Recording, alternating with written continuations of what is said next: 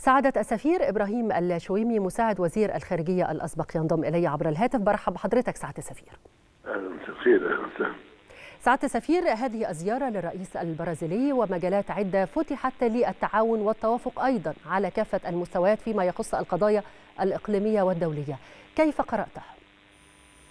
الحقيقة زيارة مهمة جدا لأن الحقيقة البرازيل دولة من الدول النامية التي تقدمت ببرامج اجتماعية مفيدة جدا وبرامج اقتصادية أفادت شعبها بشكل خاص. وبالتالي فإن التجربة البرازيلية يمكن الاستفادة منها استفادة كبيرة كبيرة بشكل واضح يعني. الحقيقة العلاقات بين مصر والبرازيل علاقات قوية وعلاقات سياسية متميزة. لأن لأن البرازيل تقف إلى جانب الموقف العربي وتؤيد وتؤيد حل دولتين وتؤيد القضية الفلسطينية. نعم. وتعمل على أن يكون هناك للعالم الثالث موقف موقف أفضل من الذي هو فيه الآن. وبالتالي فإن هذه الزيارة زيارة مهمة الحديث بين الرئيسين مهم جدا دا سيلفا رجل كان رجلا بسيطا وتميز بذلك ووصل إلى قمة السلطة بمجهود عظيم. وبالتالي فإن الاستفادة من تجربة البرازيل تجربة مفيدة ويمكن الاستفادة منها في أفريقيا وفي العالم العربي. نعم. سعادة السفير لولا دا سيلفا أشار إلى عدد من الأزمات نعيشها الآن منها الحرب الروسية الأوكرانية وأيضا الحرب المشنة على قطاع غزة من قبل قوات الاحتلال الإسرائيلي. وأشار إلى وجوب الحوكمة الدولية وإعادة النظر فيها مرة أخرى والتعاون مع مصر تحديدا في هذا المجال. كيف ترى هذا الأمر وتفعيله؟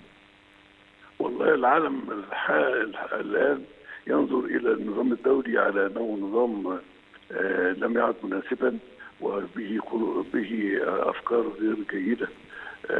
ولذلك يجب السيطرة عليه وتحويله إلى إلى نظام دولي جديد يستفيد منه العالم. لأن القيود التي موجودة في ميثاق الأمم المتحدة تقيد حركة النظام الدولي ولا لا يستفيد منها.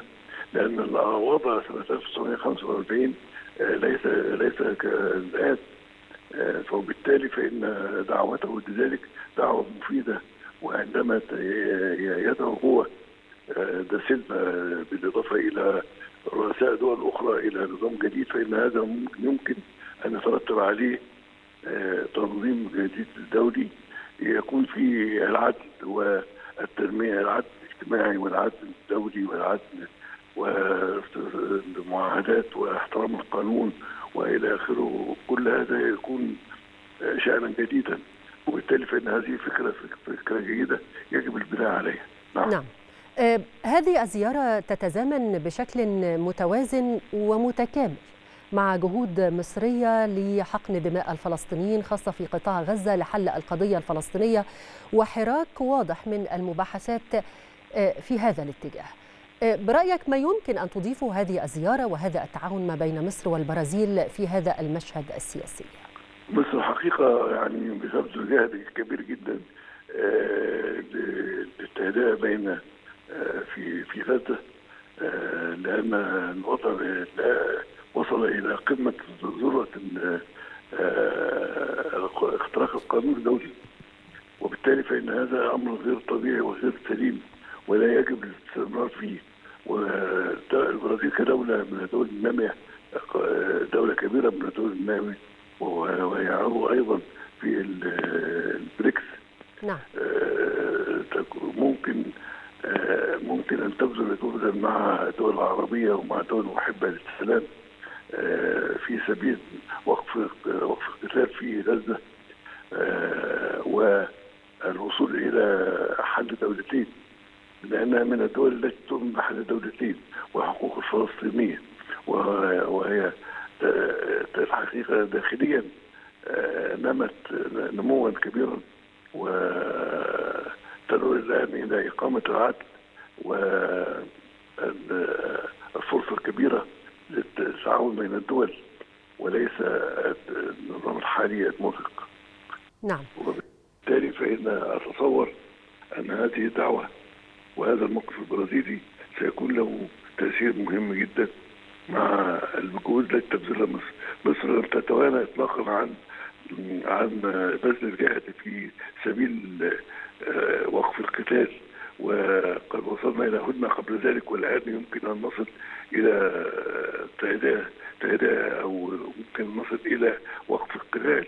هذا أمر مهم جدا ومساندة دولة البرازيل ودول أخرى من الدول النامية دول تؤثر تأثيرا قويا في هذا الشأن. فزيارة زيارة مهمة ولها أبعاد إن شاء الله تكون أبعاد سياسية واقتصادية مهمة جدا.